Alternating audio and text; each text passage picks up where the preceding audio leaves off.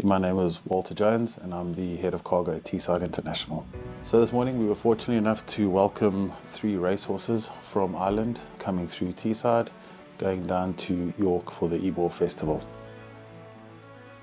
I've always said that I want us to be the airport of choice for cargo movements and given our location which is right in the centre of the UK we're well positioned for flights such as this to come in. But what we do see is that some of the larger airports are unable to handle the smaller charters because of constraints. So the operators look at smaller airports who are within close vicinity of the racetracks.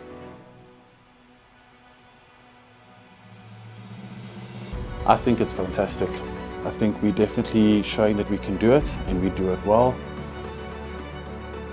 So we're seeing the growth from automotive now with the AVI or equine movement.